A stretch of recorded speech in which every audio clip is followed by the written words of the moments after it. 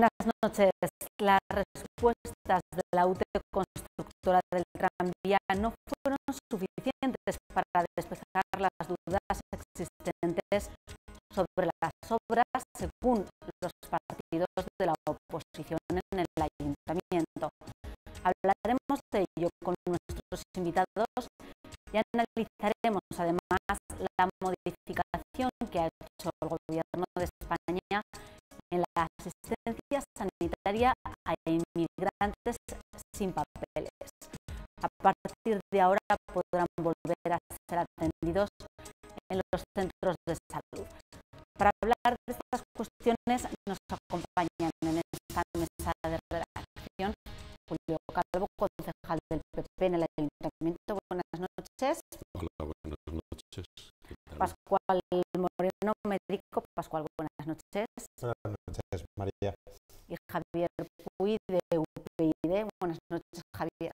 Muy buenas noches.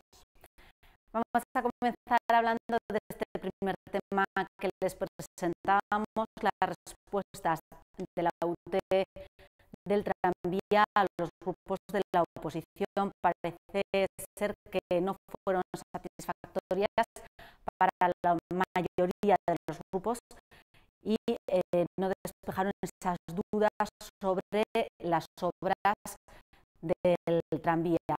¿Por qué? ¿Qué es lo que pasó? ¿Qué de, ¿Por qué no despejaron esas dudas, Julio? Bueno, yo creo que se van acumulando. La verdad es que eh, las, las dudas o las sombras sobre toda la gestión de esta obra se van acumulando cosas se saben, mm, más preguntas, más preguntas se, suscitan. No sé, seguro, mm, seguro que me dejo eh, algunas cosas. Yo para mí una de las cosas más graves que hay eh, es, por ejemplo, el que se hayan estado certificando como realizadas obras que luego hemos sabido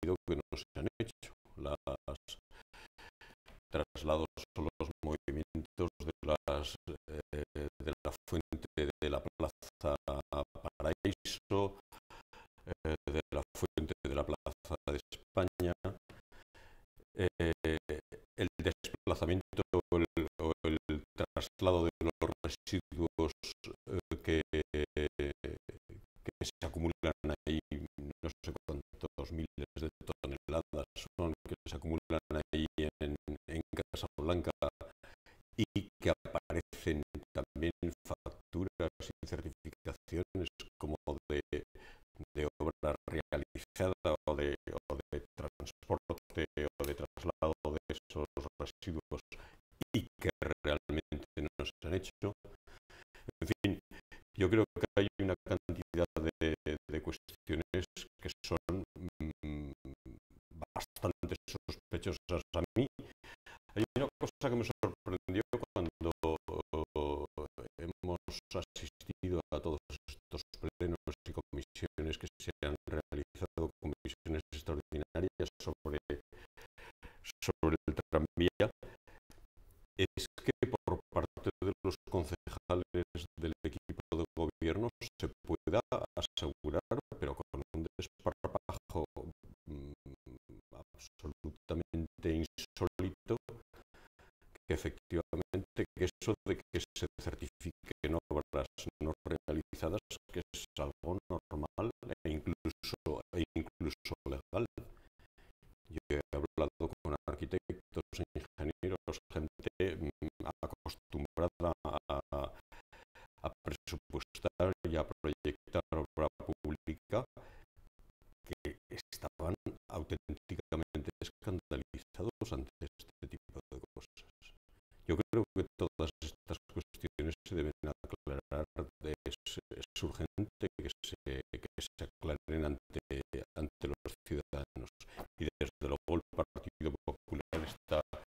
seriamente empeñado en, lograr la máxima claridad en, todo este asunto. Javier, se necesitan más aclaraciones. Eh, sí, desde luego, y el Partido Popular lo está y Unión Progreso y Democracia está y yo me imagino que todos los partidos serios saber lo que ha pasado. Lo que pasa, de, yo la verdad es que asisto a este debate con perplejidad porque eh, los argumentos a favor y en contra de unos y otros son tan robustos todos, son tan potentes que, que no acabo decir, que efectivamente, como ha dicho el señor Calvo, pues hay una serie de obras que, que, ha aparecido en la documentación certificadas y entregadas que no existen,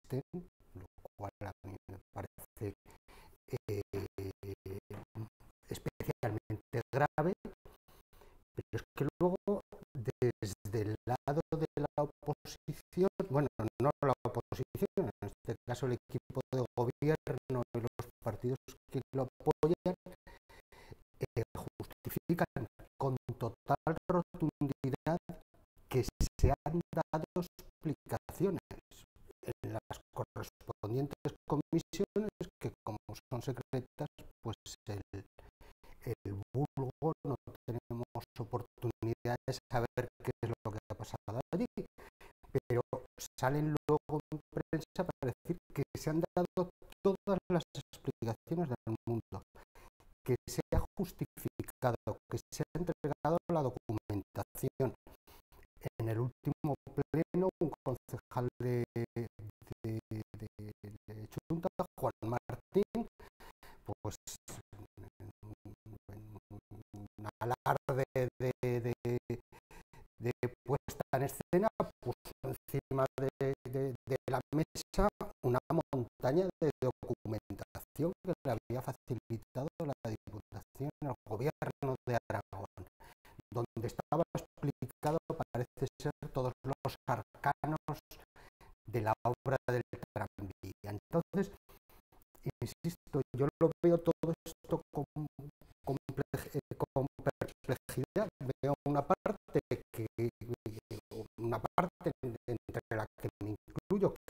Piden explicaciones y la contraparte en este caso que dice que ya las ha dado, que está todo perfectamente documentado, que está todo perfectamente explicado y es que simplemente los que conocen esa explicación no quieren reconocerlo, con lo cual pues me encuentro ahí en una situación, un terreno de nadie que no sé muy bien a quién creer y como a mí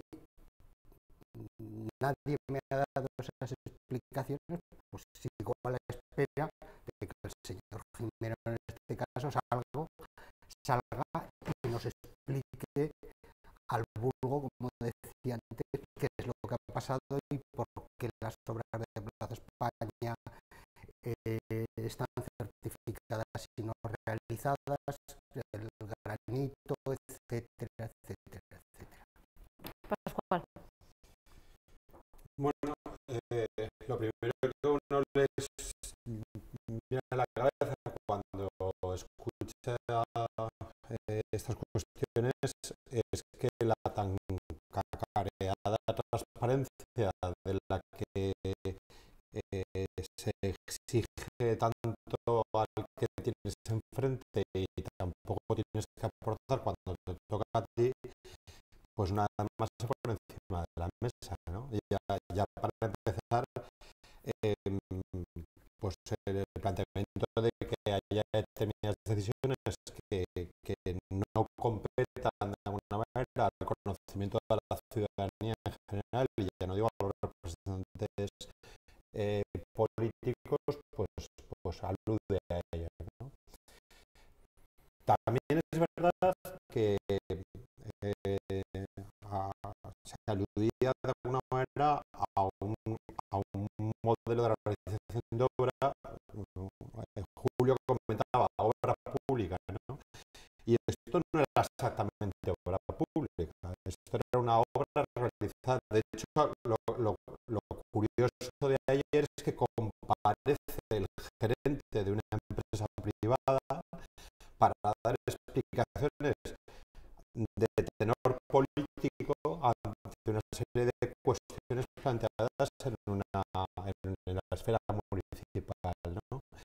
Y es porque la obra es una obra precio que se la adjudica a una, una unión técnica de empresas y que la hace a ese precio y que él determina a quién quiere dar una concesión de un determinado servicio o de un determinado bien.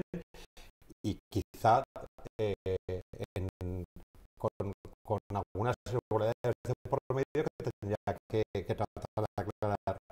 Lo cual que hasta el gerente que es responsable de aquello no tenga ni por qué aparecer por ahí a dar ningún tipo de explicación porque, porque esto es una empresa y gestiona el dinero que recibe eh, pues como, como ella considera de alguna manera. ¿no?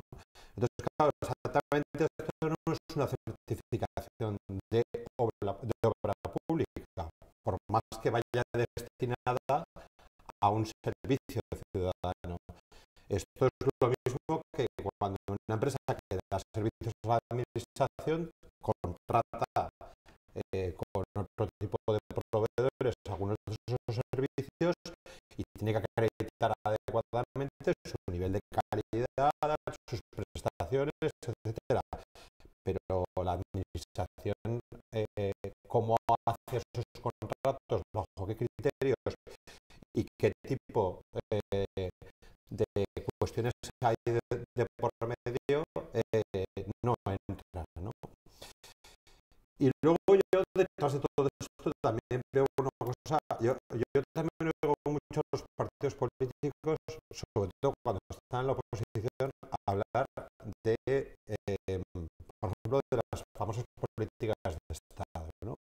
Y cuando se habla de sanidad y cuando se habla de educación, eh, se habla de que tendría que haber un, un pacto global, un pacto político, eh, que se establecieran una serie de consensos básicos que permitieran tomar decisiones a medio y largo plazo que son las que de verdad tienen impacto en la gestión de la sanidad o en la gestión de la educación. Y, y, esto luego cuando estás en el gobierno eh, pocas veces se, se, da el protagonismo de tener que precisamente escuchar los demás para tomar decisiones eh, en, tu, en tu actuación política. Y yo en el ámbito municipal creo que hay políticas que son también políticas, entre comillas, de Estado, de Estado municipal. ¿no? Y la política de movilidad es una de ellas. ¿no? Yo creo que en esta, en esta ciudad, en un momento determinado, se alcanzó un cierto consenso sobre lo que podía significar la apuesta del tranvía. Eh, y, y, y, ese consenso se va rompiendo utilizando el tranvía algunos momentos como una herramienta de carácter político y en estos momentos casi casi de carácter electoral. ¿no? Y yo, a mí me resulta un poco entristecedor, es decir, yo, yo, yo creo que para la ciudadanía el tranvía con sus eh, luces y con sus sombras eh, eh, obviamente ha sido una herramienta de movilidad muy importante y que ha permitido además cambiar la ciudad no solo en lo que tiene que ver con la infraestructura de transporte. Y yo a mí me gustaría que, en este ámbito hubiera un esfuerzo por todos, por los que estén en el gobierno municipal y por los que estén en la oposición, de buscar escenarios de consenso de hacia dónde tiene que ir la ciudad, porque esto no puede depender de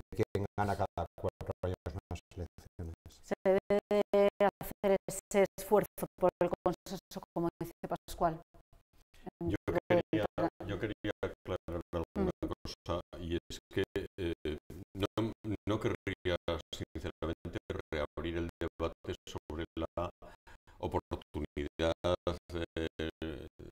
el trazado y todas estas cuestiones, porque yo creo que sobre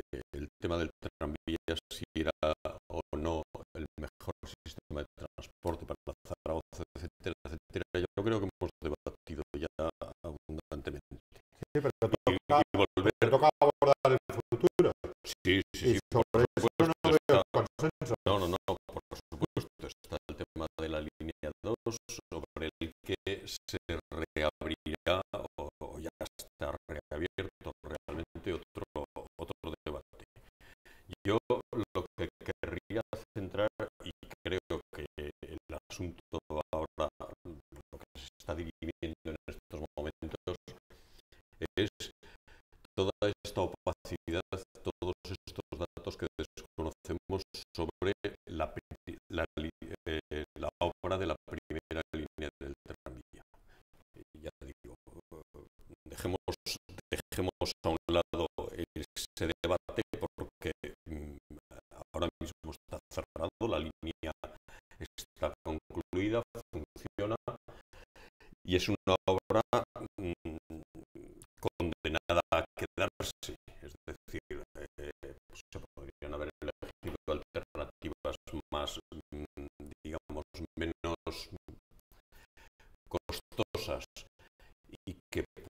Lo ser dejamos fuera, lo dejamos fuera, Sí. Julio. y que pudieran. Sí, tienes, tienes razón. Sí, vuelvo. Es Vamos verdad, a volver, vuelve- si quieres, vuelve la burra a al esta, a esta tiro. urbe. Vamos, vamos al tema, vamos al tema ¿Hasta de qué la- punto es responsable el ayuntamiento de esta gestión privada? Efectivamente, eh, eh, la la empresa o la sociedad que ha gestionado el tranvía realmente es una sociedad de economía mixta que está participada por el ayuntamiento. Es decir, el ayuntamiento no puede sustraerse en absoluto eh, a la responsabilidad y eludiendo eludiendo esa responsabilidad porque ha sido una sociedad, porque no es... eh, No, no, no. El ayuntamiento está presente y de hecho el ayuntamiento tiene sus representantes en el Consejo de Administración de la Sociedad de Economía Mixta Los Tranvías de Zaragoza, que es la que ha encargado a su vez a una UTE la ejecución de la obra, etcétera, etcétera. La Sí, pero a un precio y la tasado. gestión. Sí, a precio, a precio cierto. Lo que pasa es que el precio cierto no puede ser un argumento máximo que invalide todo lo demás.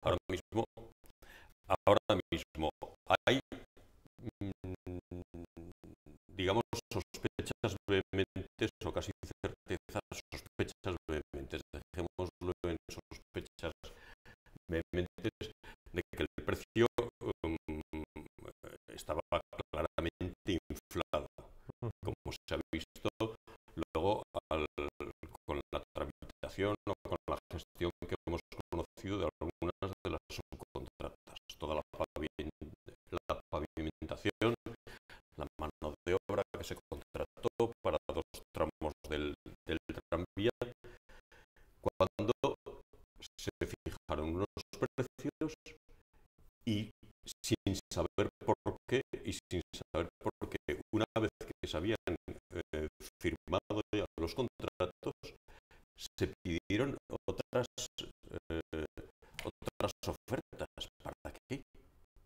o sea para para mm, hacer el paripé de que efectivamente se habían estado solicitando otras ofertas. Sí si ya se había firmado el contrato. Y luego resultó que esas ofertas que se ofrecieron, que se presentaron, resulta que eran significativamente más baratas que las que, que las que eh, se habían cogido con las que se habían firmado. Es decir, hay una cantidad, hay una cantidad de irregularidades responsabilidades, por ejemplo, el ayuntamiento pone, aparece en el, en el contrato. El ayuntamiento tiene la obligación, tiene la obligación o la potestad de eh, dar el visto bueno y autorizar todas las subcontratas que se hagan de la obra. Y luego alegan que desconocen las subcontratas que ha hecho la, que ha hecho la autoridad adjudicataria. Cuando en el contrato figura esa responsabilidad del ayuntamiento, dar el visto bueno a las subcontratas y las desconocen. Es decir, ha habido una clara ilusión de responsabilidades por parte del ayuntamiento. Y eso no se puede, no se puede ignorar. Y son esas responsabilidades las que estamos pidiendo, esas aclaraciones a todas estas zonas oscuras, que son muchas. Javier. Eh, que se está haciendo electoralismo con el tranvía, con las obras del tranvía, con el futuro del tranvía y de otros medios de, de transporte en la ciudad es obvio. Esto de que el tranvía sea, sea un medio de transporte de derechas o de izquierdas o el sea de derechas o de izquierdas o las cercanías, yo creo que es una trampa. Tenemos que buscar esos consensos, que estamos pensando es una ciudad, la, la, la Zaragoza del futuro, que es lo que necesita, cómo vamos a configurar nuestra ciudad, dónde van a estar dónde van a estar los flujos de comunicación y a partir de diseñar el modelo de transporte que tengamos que, que, que mejor se ajuste a la ciudad. Yo creo que en eso yo, eh, estaremos todos, ya hay un plan de movilidad de, que, que ahora mismo está casi obsoleto, pero habrá que renovarlo y a partir de ahí hablaremos de movilidad. Pero ahora estamos hablando de transparencia y, la transparencia en este caso brilla por su ausencia. Yo me considero un, lector de prensa, un ávido lector de prensa y, y lógicamente sigo toda la información política y no de explicarme lo que ha pasado. Punto uno. En segundo lugar, eh, al margen de, de, las mecánicas administrativas, de si se contrata, si una empresa privada, si es una sociedad mixta donde participan un porcentaje o en otro, yo creo que la administración lo que tiene que hacer fundamentalmente es gestionar de la mejor manera nuestro dinero, directa o indirectamente. Yo creo que en eso estaremos absolutamente todos de acuerdo. ¿no? Y, y yo lo que les pido al equipo de gobierno es una mínima coherencia. Si estamos ahí, independientemente de cuál cuál haya sido el formato de, de contratación de las obras del tranvía, no acabo de explicarme por qué somos tan críticos y tan feroces con, con la contrata del autobús, por ejemplo, donde también hay un precio fijo, tanto por kilómetro. Y sin embargo, la contrata del autobús le exigimos que contra pague a más personas o menos personas, que les pague más o que les pague menos, que su beneficio industrial esté en el 5, esté en el 8, o sea, nos metemos hasta, hasta las, las tripas de una empresa privada que está prestando unos, un servicio público. Aquí, efectivamente, no es lo mismo, pero grosso modo sí que lo es. Es la mejor administración de nuestro dinero. Y no, entiendo por qué en el caso de AUSA se es tan estricto y tan feroz, como decía antes, y en el caso de los tranvías, pues entendemos pues, que se puedan cambiar unos contratos y que se pueda derivar eh, determinadas eh, certificaciones a unas empresas que cobran más que otras. Eh, yo lo que pido es coherencia o, estamos a todo o no estamos a nada. Obviamente tenemos que estar a todo y sacar el máximo rendimiento. Eso es lo que pido, nada más. Bueno, vamos a cambiar de tema. Hablamos ahora de la asistencia sanitaria a inmigrantes en situación irregular. El Gobierno de España ha modificado la norma y a partir de ahora podrán ser atendidos en los centros de salud. Esa norma que ya había sido modificada en 2012 para que no pudiesen ser atendidos eh, los inmigrantes sin, sin, papeles. Bueno, ¿qué os parece esta modificación? ¿Afecta en algo a Aragón? Porque Aragón no aplicaba este decreto ley.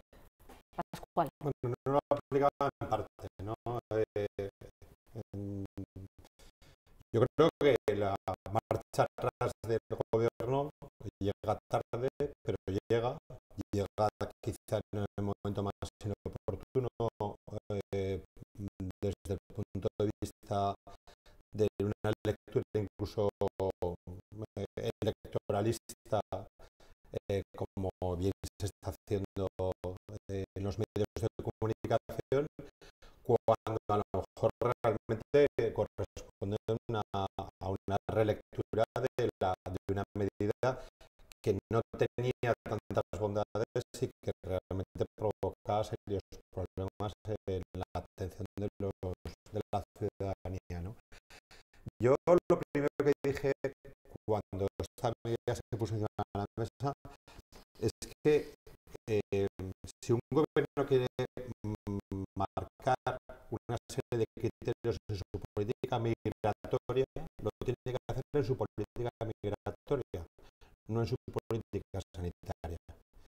Es decir, que si, el gobierno quiere a partir de ahora endurecer las condiciones de acceso de, de la población extranjera a este país y controlar mucho más la existencia de trabajadores irregulares, de los cuales, por cierto, buena parte del tejido económico de este país se está beneficiando, eh, pues probablemente lo que tiene que hacer es plantear esa migratoria con todo eh, el afán político y con todas las responsabilidades que se puede conllevar.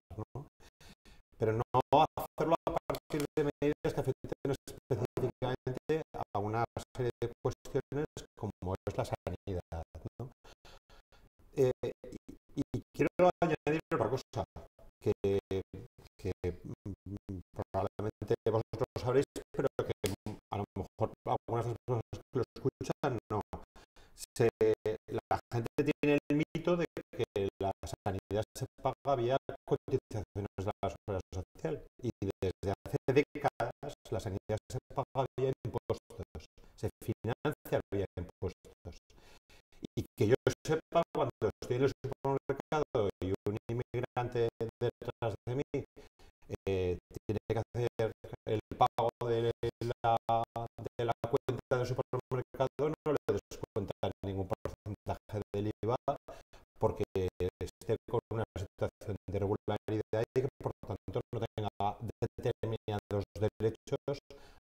que sí que tenemos nosotros. ¿no?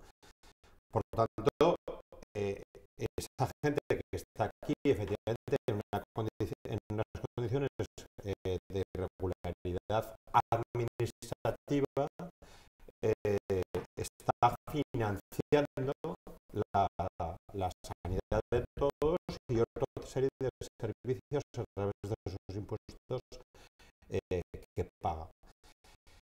Y por otro lado, la sanidad en este país, y eso sí que era un ámbito de consenso político, era un derecho, y era un derecho eh, universal. Y era un derecho que se extendía a todos los que eh, estaban en eh, el territorio nacional.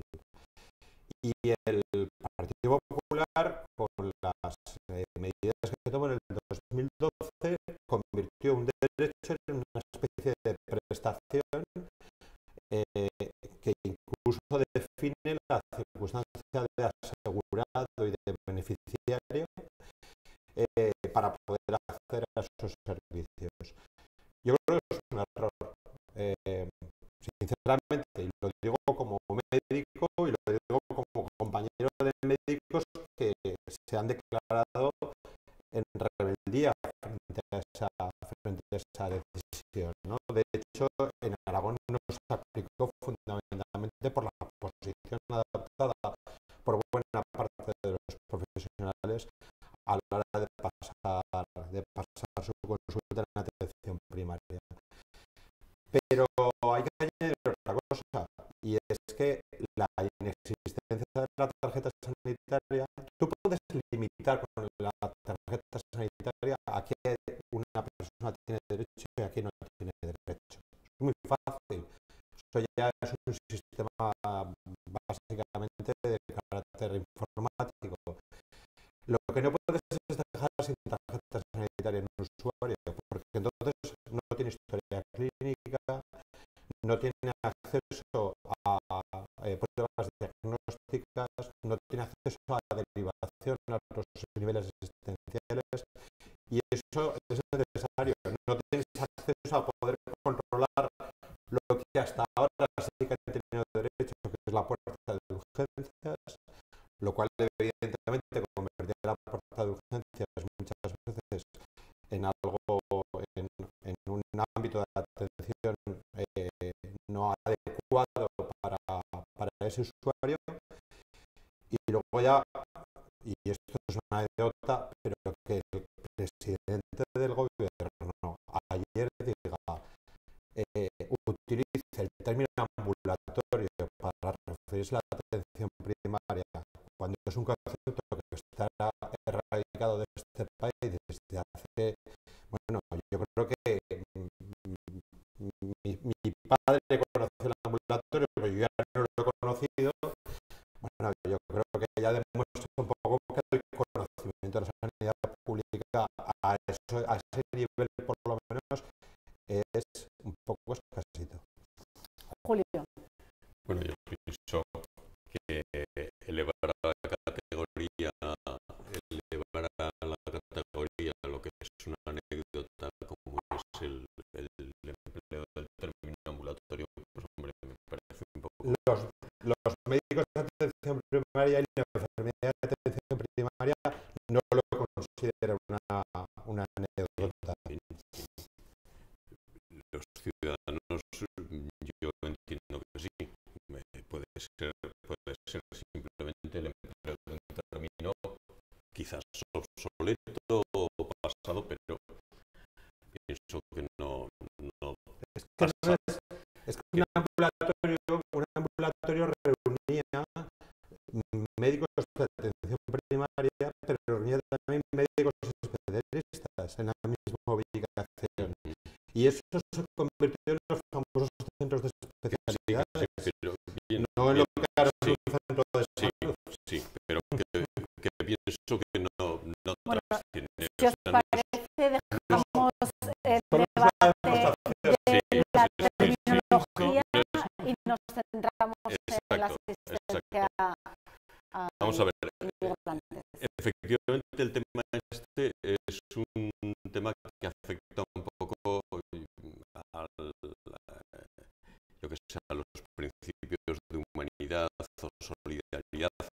sentimientos más que los principios, a los sentimientos, y todos nos sentimos complacidos de que efectivamente eh, haya una parte de la población eh, a la que ahora se les va a prestar una asistencia sanitaria que se les había negado. Son nada menos, eh, posiblemente seamos uno de los países en donde existe un mayor porcentaje de población inmigrante irregular.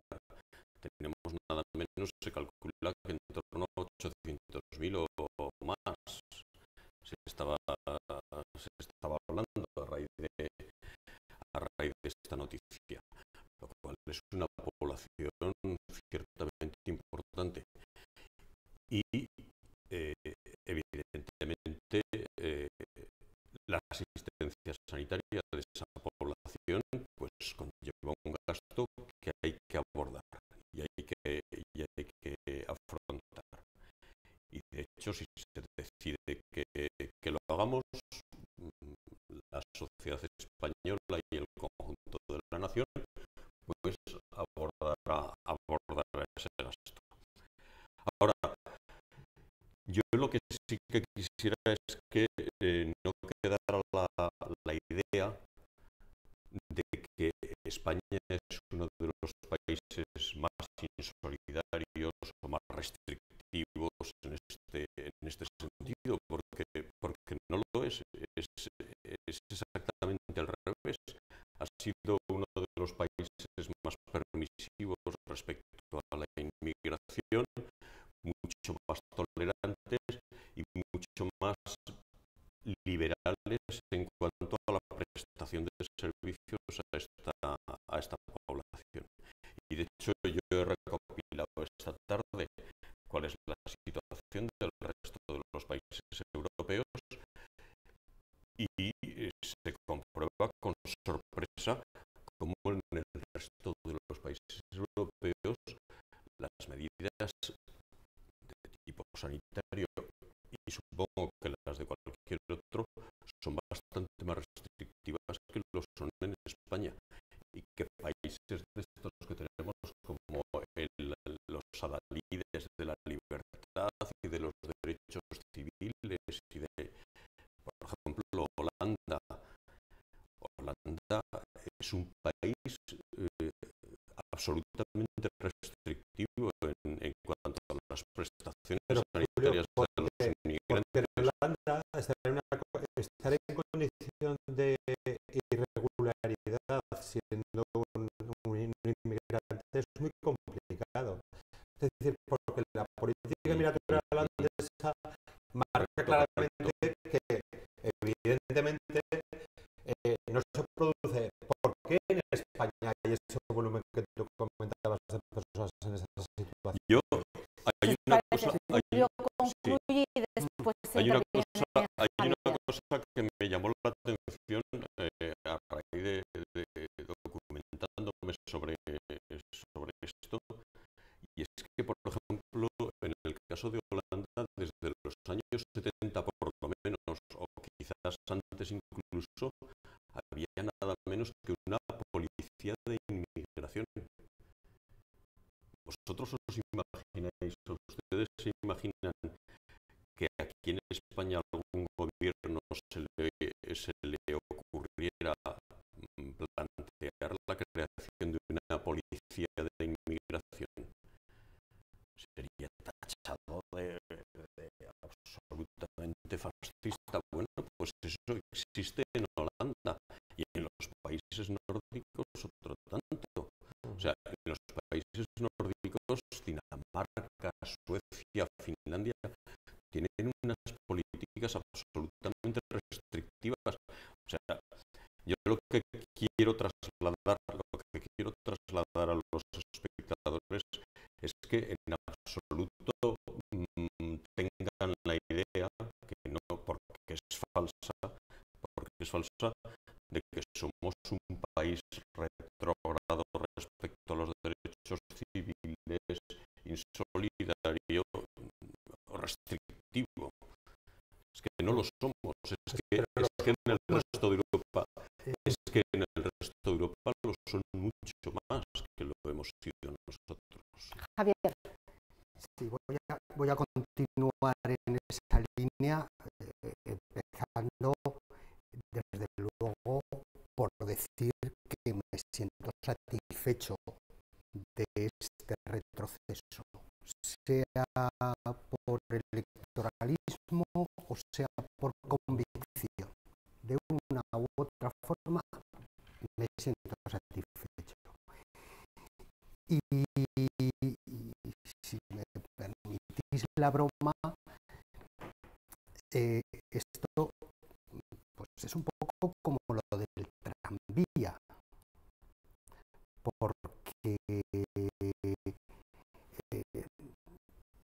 las denuncias que vienen en la carta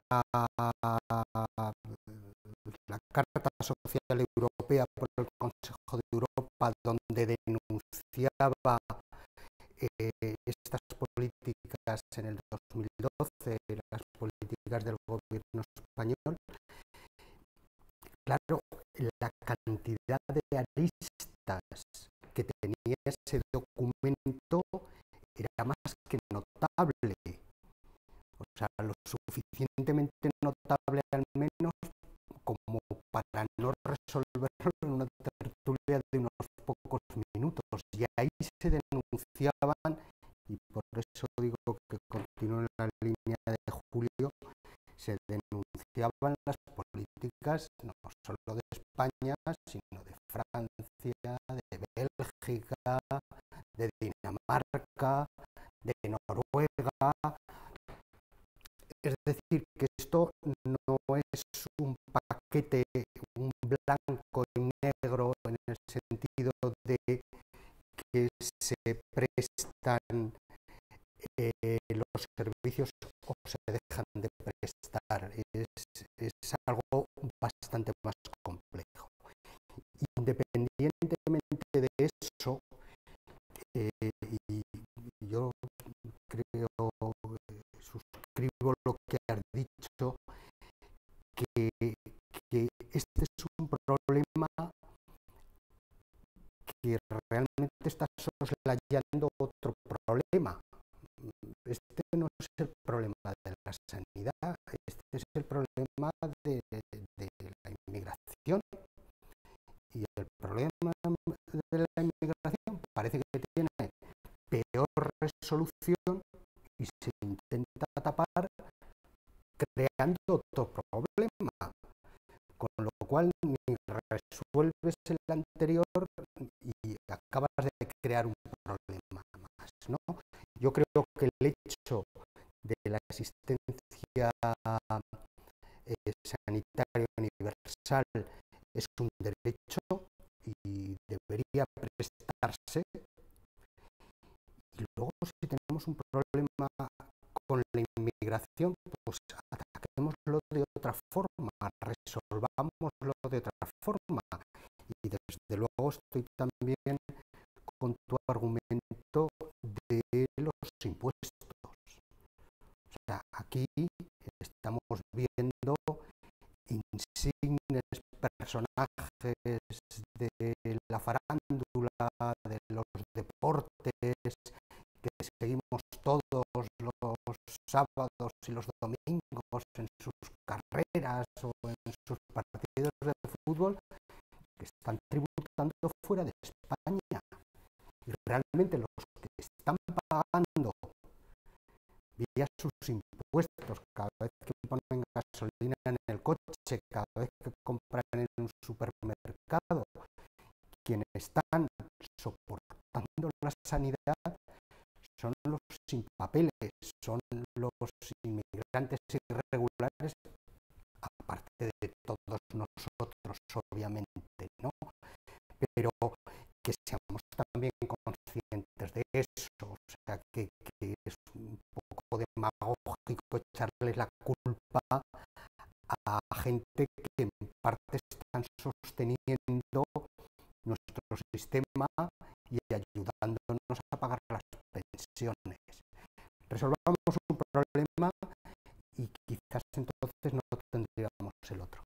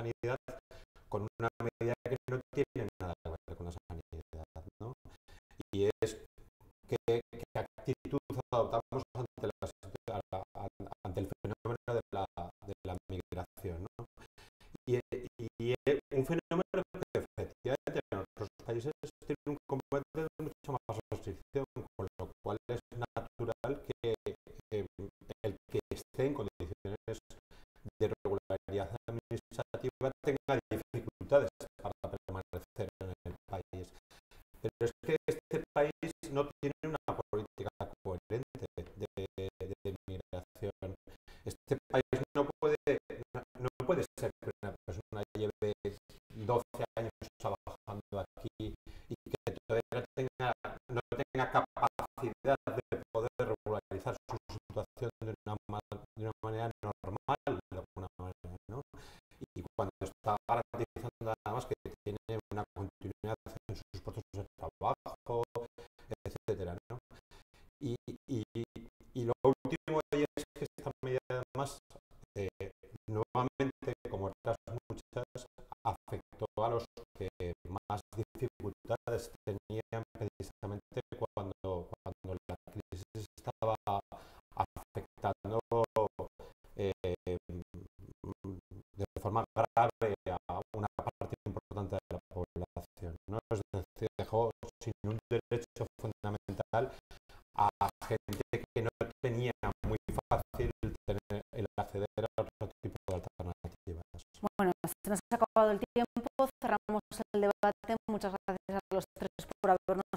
acompañado. Nosotros nos despedimos. Les deseamos